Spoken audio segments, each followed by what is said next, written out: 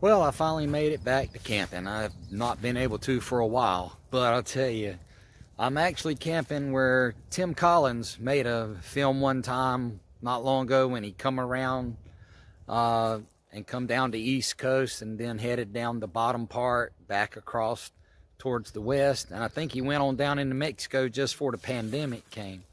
Well, he actually stayed at this spot down here in Francis Marion National Forest and uh, he didn't he's even said on it he didn't know exactly where he was but there was actually a tree that was laying over here and i had camped in this spot over here like the week before he did the video and i saw the tree. So in the background i could look through and see the picnic table over there and i, I knew that was the table because it had one of the seats missing.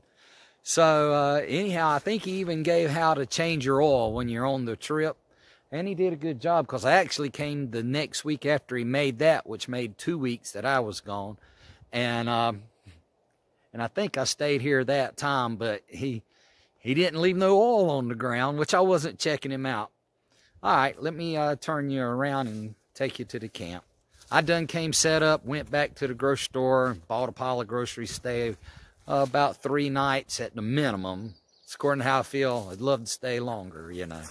Well, I say you know, but you know how it is. This is a cheap box.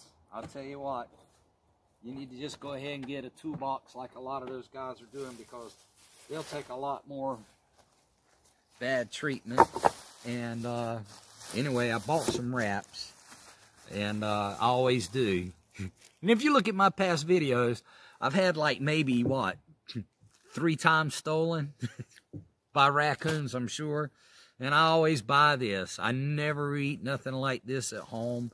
It's just that sometimes I'll want a snack. And, uh, and I don't eat many canned things, but I don't want to pack a cooler. I haven't bought Beanie Weenies in years. So I'm going to give that a, I wonder if they taste like they did when I was younger, but anyway, I bought a few things like this and I when I went to California around, right now I'm on the East Coast, McClellanville, South Carolina. But when I went up and around by Montana and then back down through Salt Lake City and Utah and Nevada and all, I camped a lot. And I would, uh, I'd buy stuff like this. Um, I mean, I know it's high in salt, but uh, I'm not living like that forever, you know. But I mean, and I camped, I had a great time. I'm, I, I mean, I'm trying to even remember some of the names of the places, and I camped out by streams and washed my clothes in them and rode with, and it was, they had an early snow last year up there around uh, Denver, Colorado, and all, and uh, oh my God, that was so freaking cold. Those streams, you can't get in them. You can't get in them. All right, let me get some of this other stuff.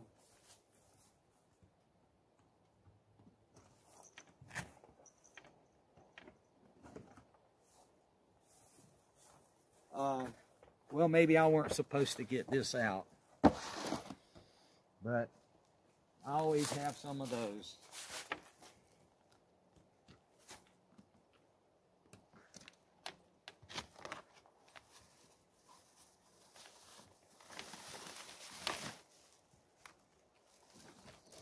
And I already got two gallons of water sitting over here, but uh, it don't hurt to have another gallon. It's uh, drinking water. They don't have running water here. I bought macaroni and cheese. And what I do is if I don't, and then I bought these here potatoes. It's instant mashed potatoes. You just add water. And uh, I didn't buy no olive oil this time. Oh, I must have bought two cans of that. I don't remember that. I must have walked down the same aisle twice forgot that I'd bought them. My memory's not very good. And I brought bought mixed fruit. I'll take something like that back home if I don't eat it here. And I always love these, like a snack. Never, I don't pig out on them at home, but when I go camping, I buy them. And then I have them when I carry them back home. And then they sit there and and I'll put them, I'll look on the bottom of the can and rotate them in the, in the uh, cabinet so that the ones that need to be ate first will be up at the front. I don't carry a cooler, and I, am lucky guy because uh, when I was a kid, I was lucky. I got a car when I was 15. I got my license at 15. Two weeks after I got my permit, I had my driver's license. And so us boys that went where I went to school, you first thing you do is you'd take open the trunk, roll that carpet back, move that uh, like a cardboard thick disc, and uh, take the spare tire out, throw it out, not away, but you know, throw it somewhere, and you just keep your beer uh, at the down there and put the top back on it and put the carpet back and you know we drove to school and you had beer and and I didn't get a good education because of that. But, you know, I think I did all right in life. I mean, I mean, my parents loved me and all, but when they divorced, I could kind of, I took advantage of it. And I don't think they knew it, but, you know, like I, I went and moved in with my dad when I was uh, just turning 13. And I told him that I would move in with him but I was one thing he needed to know. And he, what's that, son? And I said, I smoke. He said, does your mom know? And I knew he, him, him, dad and mother was not talking at the time. So I went ahead and told him a lie.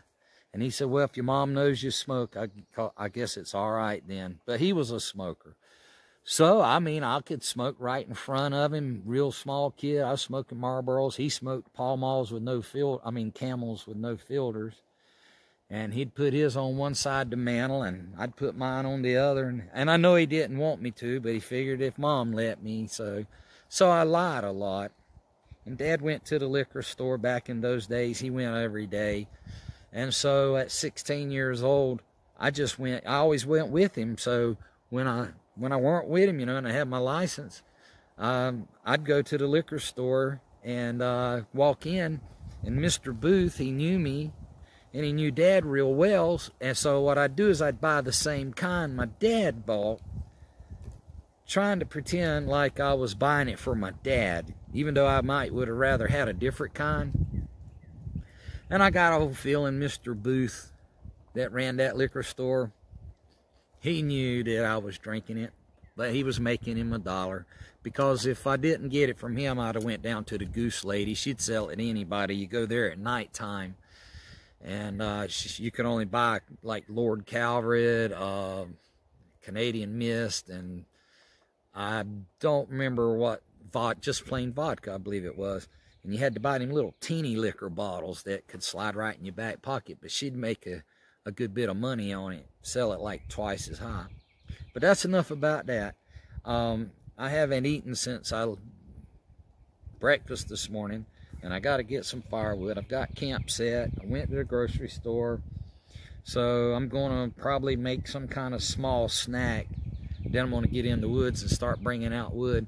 I don't chop the trees down. I just, uh, I walk through the woods and I look up and I see a tree that's dead and I push it over and um, because um, it's completely dead. It's not not a live tree just with the leaves off of it. It's easy to tell when they're dead. They got mushrooms growing on them. and uh, I don't, I don't eat the mushrooms, but I sure burn them in the fire.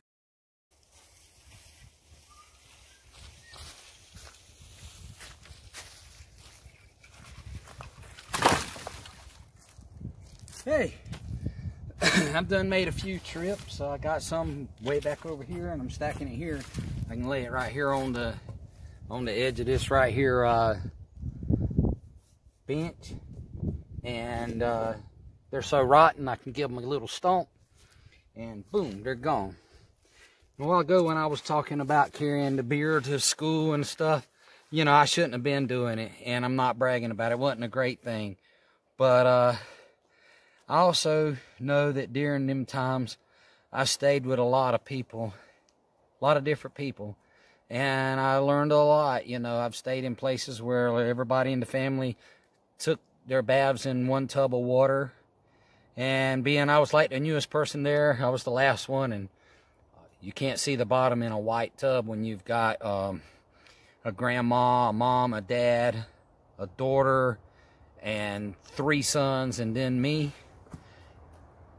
And us boys was all running out in the fields and all and was dirty, you know, from running barefooted. So it was all the way up our legs, the dust and the dirt. So I'd wash my face in the sink. I mean, I had to get in the tub that was mandatory to take a bath. But you know what? It was good. I mean, it really was. And uh, I did get kicked out of school, I, or I don't know what was taught behind my back, but at 15 years old, I was out of school. And I went and got a job. And I think, I didn't know, but I found a job that was paying me. And uh, I don't know if there was anything to do back in those days with how many hours you could work a young person as long as they were 15 and up. But uh, all I know is the next thing I know, they were making me get dressed, and I had to go back to school because they said that I was too young to quit school. But I did find a job, and I worked that job after school, and then when I turned 16. And so when I'm talking about my first car and things like that, yeah, my dad sold me his car that was only like four years old, good looking car, Dodge Dart Sport. But I had to make payments on it and I had to pay for my own insurance. Now, when I got in so much trouble for cutting school and all that, they took it back from me and uh, and gave me my, not the insurance money, but the money I had paid on the car. They actually gave that back to me, and it added up to be a good bit. And I turned around and used that same money to buy the car straight out with cash. Uh, my mom had a friend that they wouldn't sell me the car, so my mom had a friend to go up there and buy the car, but not sign the paperwork for with her name. Came up there and put it in my mom's name. But anyway, that's we've all had funny, weird things. It all worked out in the end, and I love everybody. Not mad at anybody. Um, it's helped me have a, a, a decent life. I mean, there's a lot of things I wish I could change, but if I changed them, then I wouldn't be here right now. Who knows what I'd be doing. All right, y'all, I got to get back to getting some more firewood, dragging it out the woods. But I see where people's actually chopped a lot of trees down. See, I don't chop the trees down. All I get is the trees that is so rotten that you can just push them over and they pop off because they're rotten. If I go to, even if it looks like a dead tree, and I push it back and forth a couple of times. You know, just push it this way and that way, and I don't hear it snapping off rotten, then I let it stand.